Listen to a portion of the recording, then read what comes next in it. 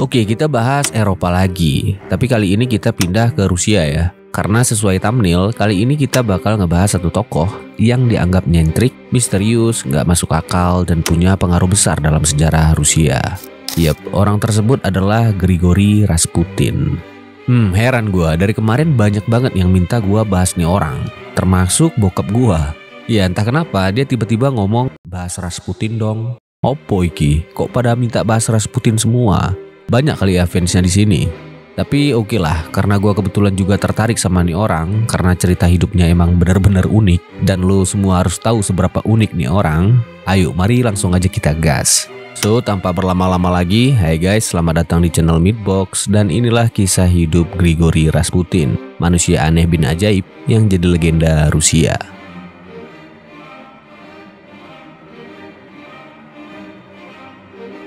Grigori Yefimovich Rasputin. Nah, dia ini lahir pada tahun 1869 di sebuah desa kecil bernama Pokrovskoye, Siberia.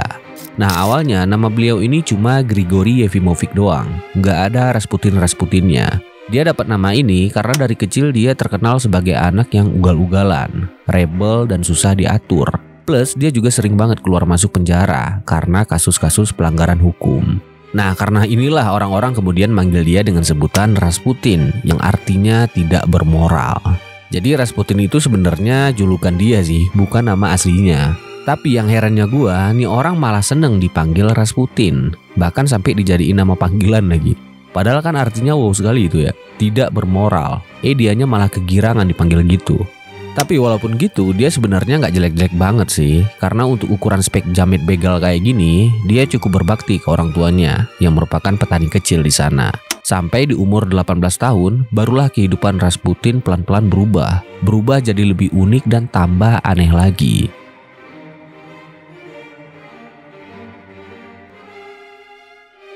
Di umur itu, Rasputin tiba-tiba mengalami pengalaman spiritual yang ngebuat dia ngerasa terpanggil untuk bergabung ke satu sekte ortodoks bernama Klisti yang ada di kota Verkhoturie. Sekte ortodoks yang menurut gua punya ajaran nyeleneh banget. Karena mereka percaya manusia bisa makin dekat dengan Tuhan ketika mengalami holy passionlessness, ketidakberdayaan atau kelelahan yang dianggap suci. Dan menurut mereka, situasi ini bisa didapatkan dari setelah melakukan hal-hal yang menyenangkan, kayak nyanyi, nari, teriak, termasuk berhubungan seksual.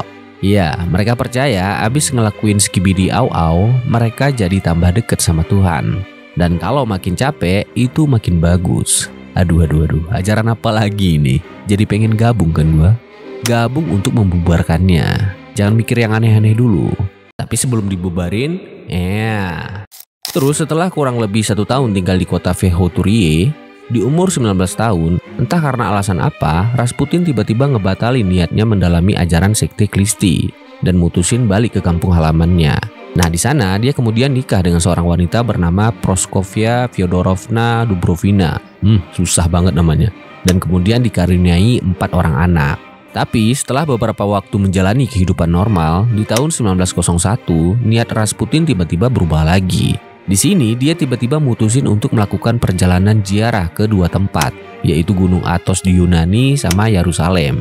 Dan selama dia melakukan perjalanan ziarah inilah Rasputin mulai dikenal sebagai seorang stranik, pengembara suci yang bisa nyembuhin penyakit dan meramal masa depan. Dan dari sini juga dia mulai punya banyak pengikut yang rata-rata pengikutnya ini adalah kaum wanita. Hmm, mungkin dari dia nih asal usul kenapa cewek-cewek suka sama cowok yang susah ditebak. Grigory Rasputin was born around 1869 and he was a stranik, a kind of traveling preacher. Not a priest, not a monk, but the, what he really was was a shaman.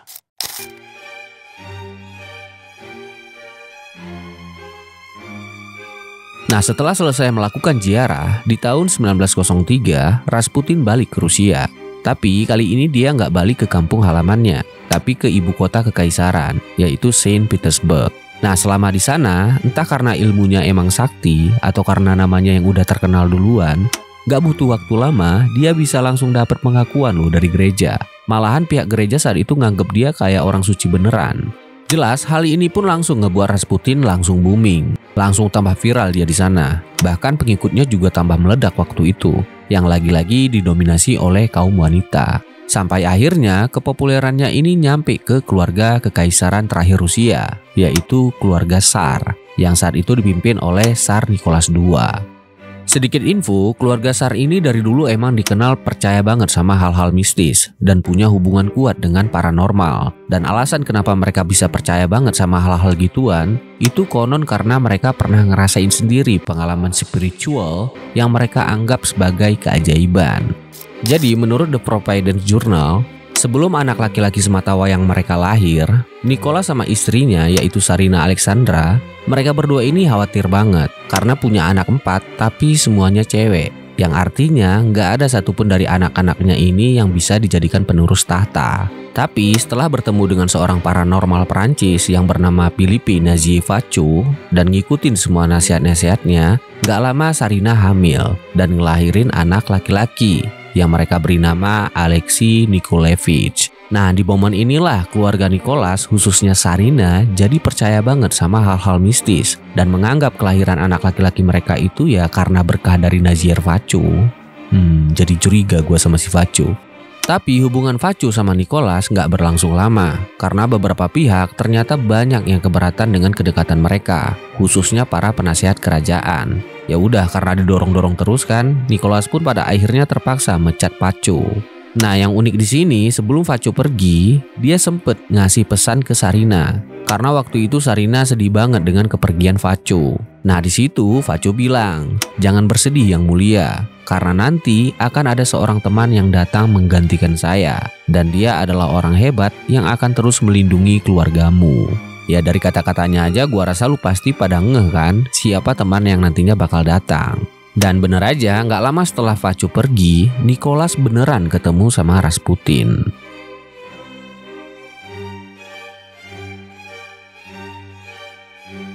Jadi ceritanya, waktu umur Alexi sekitar 7 tahun, anak laki-laki mereka ini difonis mengidap penyakit hemofilia, yaitu penyakit genetik yang ngebuat penderitanya punya masalah dengan pembukuan darah. Jadi misalkan anaknya ini luka, lukanya itu bakal susah sembuh karena darahnya yang sulit membeku. Dan lebih kasihannya lagi, penyakit hemofilia ini belum ada obatnya, alias belum bisa disembuhkan. Nah mendengar anaknya mengidap penyakit kronis, Nikola sama Sarina langsung lemes dong, langsung mumet kepala mereka. Karena cuma itu doang kan anak laki-laki yang mereka punya. Dan walaupun udah ngasih perawatan medis paling canggih sekalipun, kondisi Alexi tetap gitu-gitu aja, sama sekali nggak ada perubahan. Nah di tengah-tengah kebingungan inilah Nicholas yang mendengar kesaktian Rasputin langsung manggil dia ke istana dan kemudian nanya apa Rasputin bisa nyembuhin penyakit anaknya dan Rasputin pun dengan pedinya jawab bisa yang mulia. Nah dari sinilah Rasputin mulai punya hubungan dengan keluarga Tsar. In the early 20th century, Russians as a whole were obsessed by the notion of mystics and peasant holy men. And that's the way Rasputin was finally able to gain access to the palace and to meet Nicholas and Alexandra for the first time because they were they were also fascinated by people like this. Menurut Smithsonian Magazine, cara Rasputin ngobatin Alexi juga terbilang cukup aneh ya, karena dia ngelarang Alexi mengkonsumsi obat-obatan dari dokter dan sepenuhnya beralih ke pengobatan alternatif. Eh tapi nggak diduga-duga, tindakan Rasputin ini ternyata berhasil loh ngebuat kondisi Alexi membaik Bahkan yang tadinya Alexi ini cuma bisa tidur-tiduran aja, setelah beberapa lama dirawat Rasputin, dia jadi bener-bener sehat dan bisa beraktivitas layaknya anak-anak normal. Wah, kok bisa bang? Apa Rasputin ini emang beneran sakti? Jawabannya mungkin iya, mungkin enggak. Karena secara medis hal ini sebenarnya masih bisa dijelasin sih. Kalau menurut National Bleeding Disorder Foundation, pengobatan yang dilakukan para dokter ke Alexi waktu itu sebenarnya salah total karena mereka menggunakan aspirin sebagai treatment utamanya yang justru memicu efek antikoagulan. Yang mana efek ini ngebuat darah Alexi semakin sulit untuk membeku. Dan secara garis besar, para medis waktu itu juga sebenarnya belum tahu kalau aspirin ternyata bisa sangat berbahaya ke penderita hemofilia. Ya kasarnya salah obat lah si Alexi ini. Dan entah karena udah tahu atau cuma kebetulan aja, Rasputin manfaatin kesalahan tersebut dan menggantinya dengan pengobatan alternatif. Yang secara medis, treatmentnya ini bisa dikatakan sukses besar dalam menangani penyakit hemofilia. Tapi sayang ya, gua nggak nemu informasi mengenai treatment apa aja yang dilakukan Rasputin ke Alexei. Karena sampai sekarang pun hal ini ternyata masih jadi perdebatan panas di kalangan sejarawan maupun ahli medis. Tapi kalau menurut keterangan dari Sophie Boxoveden, salah satu maid pribadinya Sarina, saat itu Rasputin cuma rutin berdoa di samping tempat tidur Alexei dan ngasih Alexei obat herbal khusus dari kampung halamannya. Udah gitu doang. Jadi menurut kalian sendiri gimana? Apa Rasputin ini beneran sakti atau cuma karena kebetulan aja? Langsung komen di bawah. And by return, he sends a telegram back saying, God has heard your prayers and seen your tears. The little one will not die. Tell the doctors not to bother him too much. Miracle of miracles, the next morning he recovers, the bleeding stops.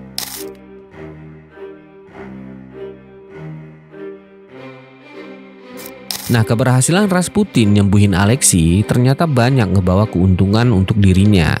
Dia langsung diangkat sebagai penasihat keluarga Tsar, terus Nicholas juga langsung netapin dia sebagai orang kepercayaannya. Bahkan Nicholas juga nganggap Rasputin layaknya guru spiritual. Dan makin lama, peran Rasputin di keluarga Tsar juga makin melebar. Nggak cuma mentok di spiritual doang, tapi juga politik. Ngebuat posisinya semakin kuat di sana. Terus yang bikin cerita Rasputin ini makin menarik, diam-diam nih orang ternyata punya dua muka. Ya gua rasa lu pada pasti ngerti lah ya dua muka yang gua maksud itu kayak gimana karena sering juga kita jumpai di lingkungan sekitar. Jadi kalau di lingkup kerajaan, Rasputin ini bakal jadi orang yang kesannya itu bener-bener suci, baik dan karismatik, ngebuat orang-orang bener-bener kagum sama sosoknya dia. Tapi kalau udah di luar, nih orang bakal berubah ke bentuk aslinya. Di luar istana, Rasputin dikenal sering pesta pora sama pengikut-pengikut wanitanya. Melanggar aturan, terus dia juga sering tuh ngerayu cewek-cewek dengan iming-iming kesejahteraan dan kesehatan lewat kontak fisik. Ngerti kan kontak fisik yang dimasuk di sini tuh kontak fisik apa? Nah itu tuh. Terus di sisi lain, Nikola secara nggak langsung sebenarnya tahu kelakuan Rasputin di luar kerajaan itu kayak gimana dia tahu. Karena dia sering dapat laporan Rasputin dari bawahan-bawahannya. Tapi karena dia udah ketergantungan banget dan gak mau Rasputin pergi, kelakuan Rasputin ini malah didiemin sama Nicholas. Dan yang lebih ngaco lagi, orang-orang yang berani ngelaporin Rasputin pelan-pelan malah disingkirin sama Nicholas. Luar biasa, dilindungi sampai segitunya loh. Nah tentu kelakuan Rasputin ini lambat laun jadi dilema dong Karena lama-lama orang juga jadi muak kan sama tingkah dia Sampai akhirnya salah satu Perdana Menteri Kerajaan yaitu Piotr Stolypin ngambil tindakan buat nyingkirin Rasputin dengan cara ngirimin Nicholas daftar-daftar pelanggaran hukum yang udah dilakukan Rasputin selama ini. Nah ngelihat laporan tersebut, Nicholas langsung ke pojok dong. Gak bisa ngelak lagi dia. Dan mau gak mau, dia harus ngusir Rasputin dari istana.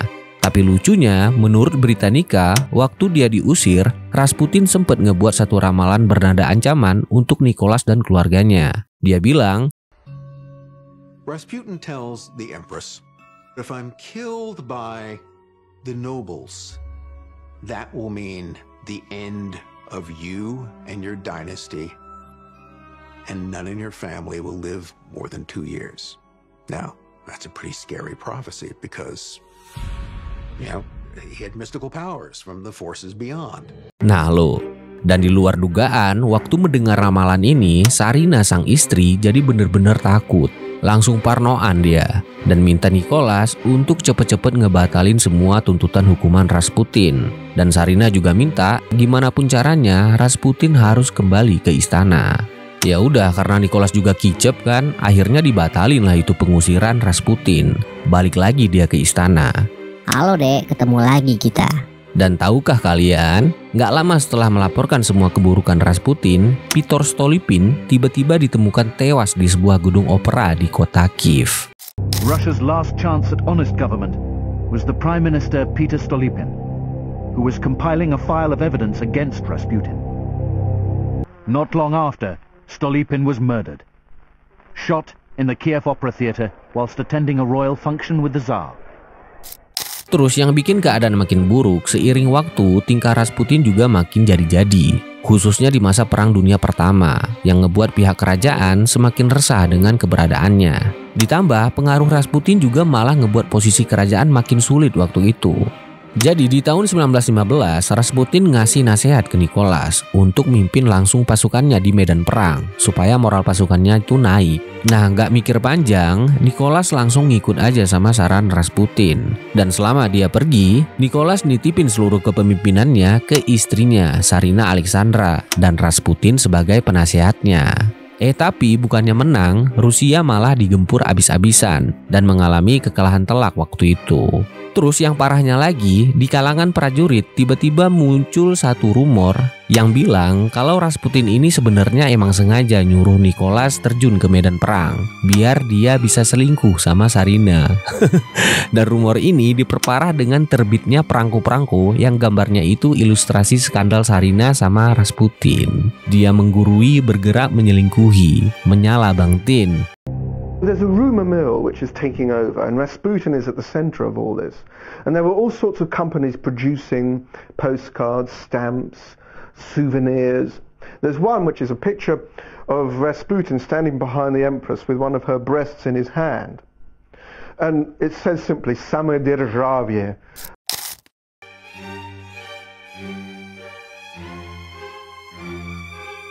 Nah sosok Rasputin yang makin hari makin ngeselin ini Bukan ngeselin lagi sih ini Emang udah harus dibasmi sebenarnya. Ngebuat orang-orang makin muak sama dia. Bahkan pihak kerajaan pun terus nyari cara buat nyingkirin nih orang. Tapi ya gitu. Setiap kali mau disingkirin Pasti ada aja yang ngegagalin. Entah itu Nicholas atau akal-akalannya Rasputin itu sendiri. Sampai akhirnya salah satu anak laki-laki keluarga Yusupov Yaitu Felix Yusupov Ngambil tindakan sepihak buat nyingkirin Rasputin Nah, sedikit info, keluarga Yusupov ini emang dikenal sebagai keluarga bangsawan terkaya dan paling terpandang di Rusia saat itu. Jadi ceritanya, waktu Felix ini dijodohin sama keponakannya Nicholas, yaitu Irina Alexandrovna, Felix ngerasa kalau dia itu belum pantas bersanding dengan Irina, karena merasa belum punya kontribusi besar untuk kerajaan. Maka dari itu, nggak lama setelah dia dijodohin, Felix terus berpikir keras mengenai kontribusi apa yang harusnya dia lakukan supaya namanya bisa harum di lingkungan kerajaan. Mikir, mikir, mikir, mikir, sampai akhirnya dia ngeliat Rasputin yang waktu itu emang udah dibenci banget sama semua pihak, baik itu masyarakat maupun kerajaan. Ya udah nggak pikir panjang lagi, Felix pun langsung tuh merencanakan kematian Rasputin. Dengan harapan kalau rencananya ini berhasil, dia bakal dianggap sebagai pahlawan penyelamat kerajaan. Nah, kalau menurut biografi, rencana Felix untuk menghabisi Rasputin terhitung matang banget ya, karena dia benar-benar nyiapin segala sesuatunya dengan sempurna. Terus dia juga melibatkan beberapa orang penting ke dalam rencananya ini. Salah satunya sepupunya Nicholas, yaitu Dmitri Pavlovich Romanov. Dan kalau menurut Smithsonian Magazine, cerita gimana Felix ngebunuh Rasputin itu dia tulis semua di catatan memoarnya. Nah di tulisannya itu, Felix bilang di tanggal 30 Desember 1916, dia ngundang Rasputin ke perjamuan pribadinya yang udah dia siapin di ruangan basement rumahnya. Terus, Felix nyambut Rasputin dengan nyuguhin beberapa cake dan wine, yang ternyata cake dan wine-nya ini udah dikasih racun cyanida. Ya, rencananya di sini Rasputin itu mau diracun sama Felix. Eh tapi waktu Rasputin makan kekik itu, dia malah nggak kenapa-kenapa loh. Malahan Rasputin enjoy aja makan makanan yang disuguhin Felix. Padahal kata pelayannya, racun cyanida yang ditaruh ke cake itu keras banget. Bahkan satu potong cake aja udah cukup ngebuat satu ekor anjing mati dalam satu menit. Eh tapi walaupun udah makan beberapa potong, anjing yang satu ini malah nggak mati-mati. Ya di situ Felix sama yang lainnya langsung kaget dong. Waduh kok nggak mati-mati nih orang. Padahal kick sama wine-nya udah habis banyak. Nah mulai habis kesabaran, Felix pun kemudian ngambil pistolnya Dimitri dan langsung nembak Rasputin beberapa kali di bagian dada. Tapi lagi-lagi Rasputin masih belum mati juga loh. Bayangin seberapa bebal coba nih orang. Bahkan katanya Rasputin saat itu masih sempet nyekek Felix. Dan setelah Felix nembak dia beberapa kali lagi, barulah di situ Rasputin tewas. Dan beberapa hari setelah kejadian ini, mayat Rasputin kemudian ditemukan di dasar sungai Neva dengan keadaan yang cukup mengenaskan.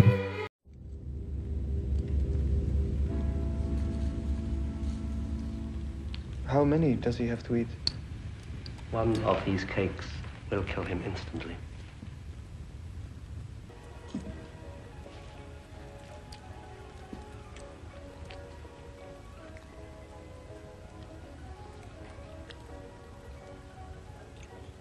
What are you gaping at?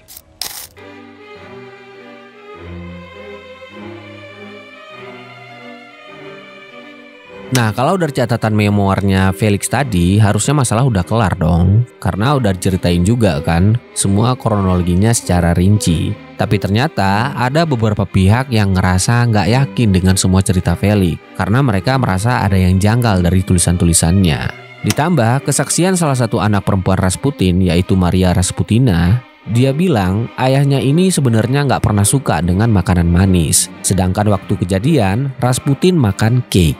Nah, di sini aja udah beda kan? Terus kejanggalan lainnya, dari hasil otopsi, tim forensik sama sekali nggak nemuin kandungan racun apa pun di dalam tubuh Rasputin, termasuk sianida. Dan luka tembak yang ditemukan di tubuh Rasputin itu ternyata cuma satu, yaitu di bagian jidat. Selebihnya nggak ditemukan lagi tuh luka tembak apa pun. Padahal di memonya Felix bilang gini, iblis ini yang telah sekarat karena racun yang jantungnya bersarang peluru pasti sudah dibangkitkan oleh kekuatan jahat. Jantungnya yang bersarang peluru. Padahal pas di otopsi nggak ada tuh ditemuin luka tembak di bagian jantung. Nah mulai dari sinilah makin banyak orang-orang yang ragu sama Felix dan menganggap Felix cuma melebih-lebihkan cerita biar kesannya itu dia benar-benar heroik. Dan kalau menurut keterangan dari tim forensik, Rasputin dibunuh secara normal aja sebenarnya. Dia dijebak, ditembak, terus mayatnya dibuang di sungai Neva. Tapi apa pun itu, nggak lama setelah kematiannya, ramalan yang sempat dilontarkan Rasputin tadi ke keluarga Nicholas beneran kejadian loh. Jadi abis Rasputin tewas, pemberontakan besar-besaran tiba-tiba terjadi. Dan di bulan Maret 1917, Nicholas beserta seluruh keluarganya dibantai habis sama kaum Bolshevik kaum komunis yang nantinya akan merubah Rusia menjadi Uni Soviet. Dan ya, sesuai dengan apa yang diramalkan, keluarga kekaisaran Rusia ini pun berakhir secara tragis di tangan rakyatnya sendiri. Dan peristiwa ini juga sekaligus menjadi tanda berakhirnya kekuasaan dinasti Tsar yang sudah berlangsung selama 300 tahun di Rusia. Wah, kok bisa pas gitu ya? Omongan dia beneran kejadian loh. Rasputin's body was later exhumed and burned by the revolutionaries as a symbol of the complete annihilation of Russian imperial government. So itulah dia tadi kisah hidup Gregory Rasputin, manusia aneh bin ajaib yang jadi legenda Rusia. Gimana menurut kalian? Silahkan berpendapat dengan sehat di kolom komentar. Dan buat kalian yang mau request, bisa dengan cara mereplay komentar yang udah gua pin agar diskusi yang lain tidak terganggu. Dan ya sekian dulu video kali ini. Semoga menghibur dan nambah wawasan kita semua. Kalau ada kata-kata yang kurang berkenan gua mohon maaf. Dan kalau ada yang salah dari cerita ini mohon dikoreksi. Jangan lupa like dan subscribe kalau kalian suka dengan channel ini. Makasih udah nonton. Hope you enjoy and see you guys in the next video. Peace out